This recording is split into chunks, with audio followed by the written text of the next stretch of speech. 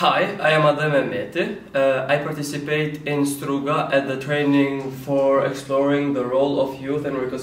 reconciliation and peace building. Uh, it was a um, good experience for me because uh, me and my team from Kosovo uh, was participating with other countries and this was the uh, perfect uh, thing because we was uh,